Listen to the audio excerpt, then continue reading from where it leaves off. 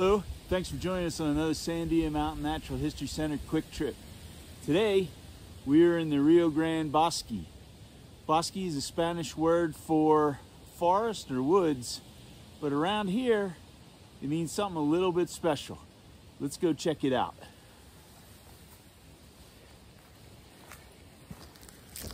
In semi-arid New Mexico, a bosque is an oasis-like ribbon of green forest, often canopied, that only exists near river streams and other watercourses. In the bosque near Albuquerque, over 150 types of plants have been identified and over 270 species of birds.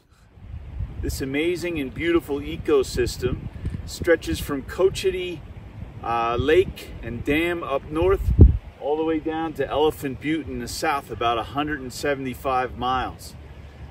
But even with all this unique beauty, this ecosystem is in grave danger. And the reason it's in such danger is because we have changed this ecosystem dramatically. In order to reduce flooding and the ill effects of flooding, we have controlled the river. We've built dams, we've built dikes, and that has reduced flooding. But flooding is kind of the lifeblood of the Bosque ecosystem.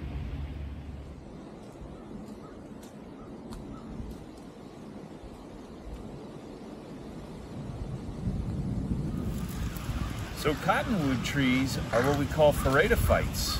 I think I said that right.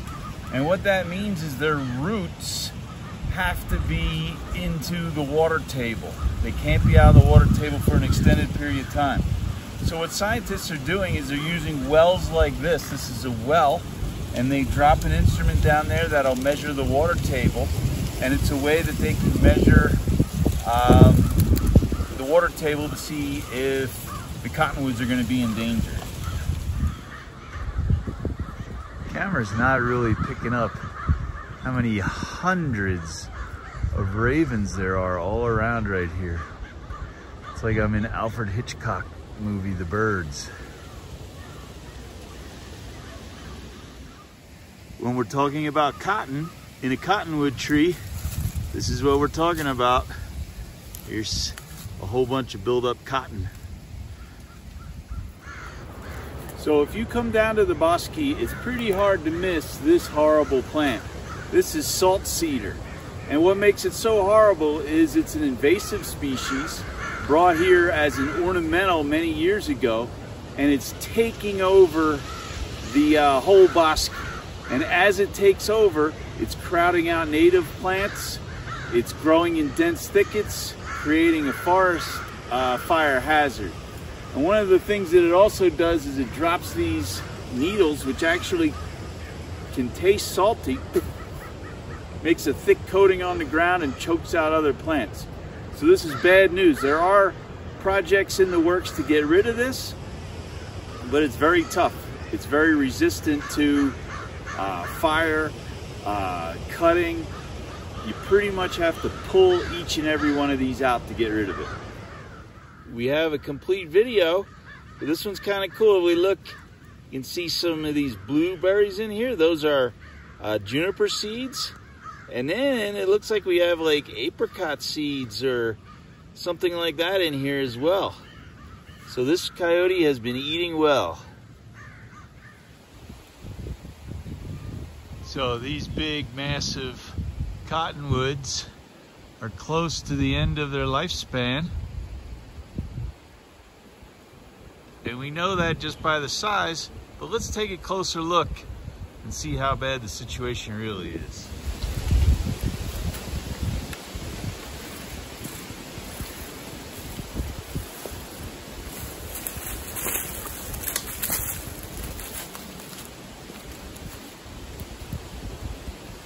This tree has a diameter of 37 and a half inches across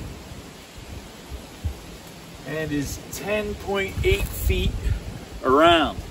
That's a big tree and an old tree.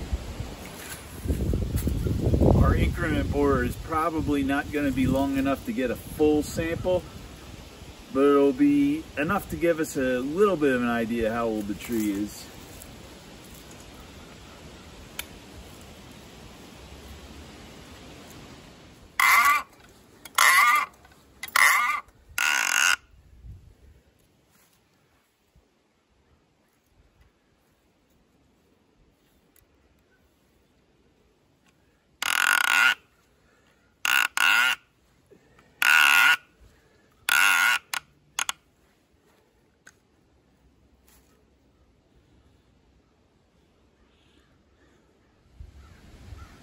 So it's very difficult on the camera to see the rings, but they're a series of light and dark lines.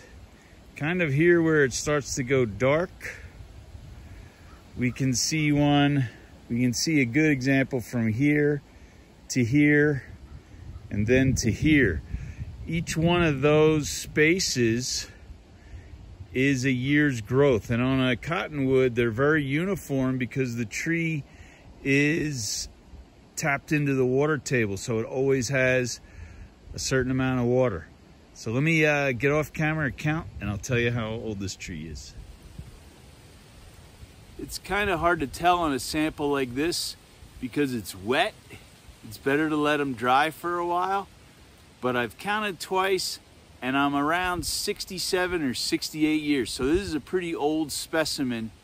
Uh, hopefully more cottonwoods will grow from the seeds of this one before this one passes. Been, here's a branch that's been cut and dried and you can see how relatively uniform those rings were. So what's interesting here is the center of the tree is not in the center. That's because the sun would have been up here. So a tree will grow more on the sunny side. But uh, why don't you count the rings and put in the comments how many you counted. And remember, this is just a branch. Most of the cottonwood trees here in the Bosque are mature to what we would call senescent, which is a nice way of saying dying that they're not really productive trees anymore. They're on their way out because they have reached pretty much the end of their lifespan.